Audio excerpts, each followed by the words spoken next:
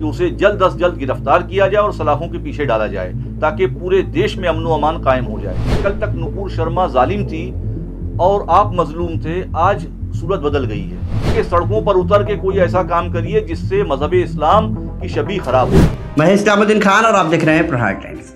नुपुर शर्मा के खिलाफ 17 जून, यानी कि जुमे के दिन एक पार्टी के तरफ़ से विरोध प्रदर्शन का ऐलान किया गया है, मगर वहीं इस ऐलान के बाद सवाल उठने लगे कि कहीं माहौल ना खराब हो जाए। इसलिए मुंबई में दो टाकी से थोड़ा सा आगे छोटा सोनापुर में बिलाल मस्जिद में हज़रत मोइन मियाँ ने additional commissioner central region Gyaneshwar Chauhan और additional commissioner south region Dilip Sawant और तमाम उलमा इकराम के साथ में आज दोपहर में एक मीटिंग ली थी। इस मीटिंग में खास तौर पर मुंबई पुलिस और हज़रत मोइन मियाँ ने अपील की है कि लोग जुमे की नमाज़ के बाद लोग सड़कों पर एहतजाज यानी कि विरोध प्रदर्शन न करें, बल्कि लीगल तौर पर कानूनी कार्रवाई करें। वहीं मुंबई पुलिस की तरफ़ से भी कहा गया है कि जुमे के दिन किसी भी तरह से विरोध प्रदर्शन की अनुमति किसी को भी नहीं दी गई है। लोग शांतिपूर्ण तरीके से नमाज़ अदा करें और अपने घर जाएँ। किसी भी तरह से जुमे के दिन कोई भी कानून हाथ में लेने की कोशिश ना करे। पुलिस ने यह भी कहा है कि नुपुर शर्मा के खिलाफ शिकायत भी दर्ज की गई है और कानून अपना काम करेगा। वहीं पुलिस अधिकारियों से नुपुर शर्मा को गिरफ़्तार क्यों नहीं किया जा रहा है? पत्रकारों ने जब सवाल पूछा तो पुलिस ने इसका क्या जवाब दिया है, वो भी हम आपको सुनाएँगे। मगर हज़रत मोइन मियाँ साहब ने ख़ास तौर पर मुसलमानों से अपील की है कि वो जुमे की नमाज़ के बाद सड़कों पर किसी भी तरह का विरोध प्रदर्शन ना करें। जुमे की नमाज़ के बाद वो अपने घर जाए। इसी तरह से मुंबई पुलिस की तरफ़ से भी ऐलान किया गया है। अपील की गई है कि लोग जुमे की नमाज़ शांतिपूर्ण तरीके से पढ़ें और अपने घर जाए सड़कों पर विरोध प्रदर्शन न करें। हफूज नामूस रिसालत बोर्ड बनाने का मकसद ही यही था कि लीगल एक्शन की तरफ़ आया जाए। आप बताइए, कल तक नुपुर शर्मा हम उसकी मजम्मत करते हैं और हुकूमत से मुतालबा करते हैं, बिलखसूस महाराष्ट्र हुकूमत से मुतालबा करते हैं कि उसे जल्द अज जल्द गिरफ़्तार किया जाए और सलाखों के पीछे डाला जाए, ताकि पूरे देश में अमन अमान कायम हो जाए। ये हमारा मुतालबा है। तहफ़ नामूस रसालत का मकसद ये है कि कानूनी चाराजोई की जाए।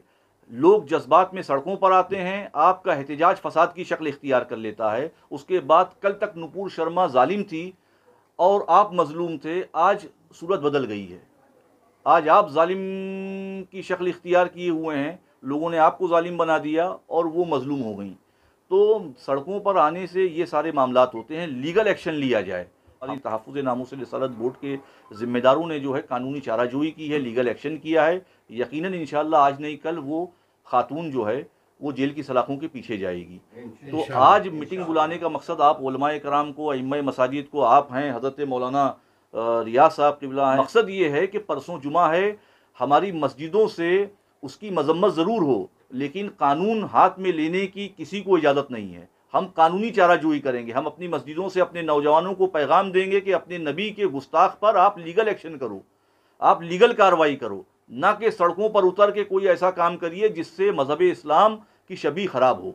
तो ख़ास आज इस आनंद फानंद इस मीटिंग का मकसद ये था कि परसों जुमा है, अगर कोई हमारे शहर के, हमारे मुल्क के माहौल को ख़राब करना चाहता है तो हम पुरअमन रह कर उसको ये संदेश दें कि हम कानून पर विश्वास रखते हैं, भरोसा रखते हैं और कानूनी चाराजोई पे हमारा यकीन है।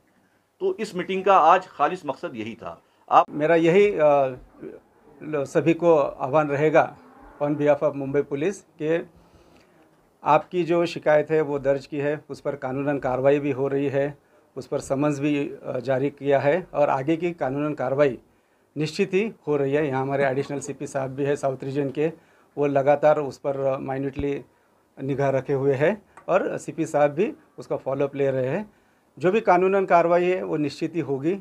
और हमारा यही है कि इस मामले में कोई भी रास्ते पर ना आए, कोई भी कानून अपने हाथ में ना ले। विशेषतः मेरे, हमारे नौजवान, मेरे नौजवान भाई है, साथी है, उनको यह अपील रहेगी कि ऐसे मामले में आपको जो ऊपर वाले की जो राय रहती है हमेशा कि जिस मुल्क का जो कानून है, उसका ख्याल रखना और अपने शहर की और अपने हम जहाँ रहते हैं उस इलाके का अमन बरकरार रखना, यह जो तुम्हारा पहला कर्तव्य है, उसमें आप शरीक होंगे और हमारा साथ देंगे।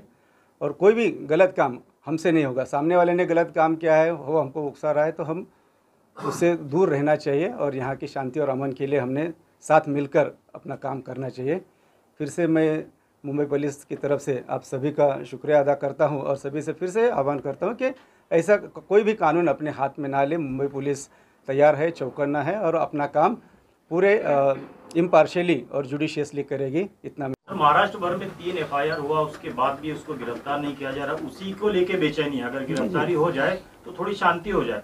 तो क्यों गिरफ्तारी करने में देरी हो रही है जबकि तीन तीन एफ़ हुआ भिवंडी मुंबई और मुमरा में? प्रेस कॉन्फ्रेंस में था तो ये ऐलान जो है वही आप कर दीजिए वो ज़्यादा ज़रूरी है। हाँ और थोड़ा सा ये है आपने जो सवाल पूछा उसका जवाब मैं देता हूँ।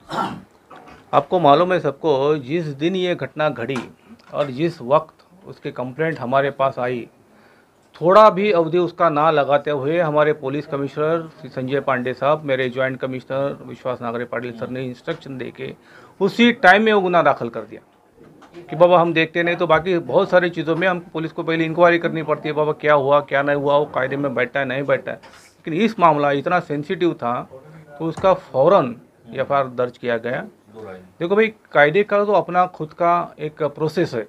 वो प्रोसेस ऑलरेडी चालू हो चुका है। समझ उसको अ, भेजा गया है। और अब मुंबई पुलिस के बारे में तो मैं आपको बताना चाहता हूँ। हम जो कुछ भी इन्वेस्टिगेशन करेंगे वो फुल प्रूफ इन्वेस्टिगेशन करेंगे। उसमें कोई कमी या कोई कमतरता वहाँ नहीं रहने देंगे। इनफैक्ट बाकी पुलिस के यूनिट भी अभी हमारी तरफ़ से सीख रहे कि इन्वेस्टिगेशन में और क्या क्या चीज़ें उसमें लानी है। अनफॉर्चुनेटली मैं ये सब बातें आपको ओपनली ये माइक पे बता नहीं पाता कि हम क्या कर रहे हैं लेकिन मैं इतना आपको ज़रूर आश्वस्त करता हूँ कि उसका इन्वेस्टिगेशन तो बहुत बढ़िया तर चल रहा है। उसमें जो कुछ भी एविडेंस हम ला सकते हैं उसके प्रॉपर एविडेंस हम ज़रूर उसमें लाएँगे। उसके बारे में कोई चिंता करने की या शक करने की कोई ज़रूर है नहीं।